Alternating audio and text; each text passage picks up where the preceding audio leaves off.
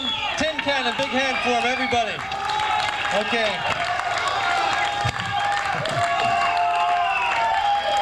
I don't know, guys.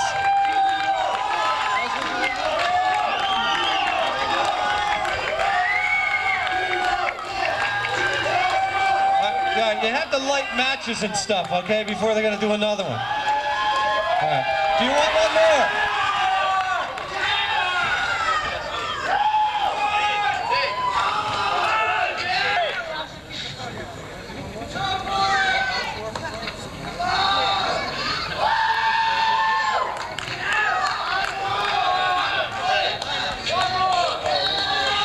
Okay, one more from Tin Cannon, ladies and gentlemen, coming right up.